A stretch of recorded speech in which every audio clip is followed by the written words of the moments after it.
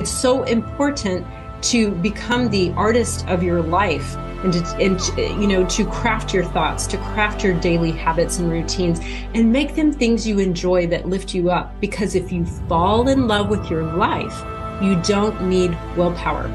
And when you give your body the things it needs to thrive it feels so good. You get this natural high that just makes alcohol seem like a downer. It makes like sugar seem like a downer. It makes caffeine seem like a downer it makes codependent relationships seem like a downer. like rushing to get through your checklist, a downer. Like suddenly you are at home in your soul. You're so rooted in the essence of what you are. You're back in your core. Like you're back in balance and you're so in this beautiful alignment.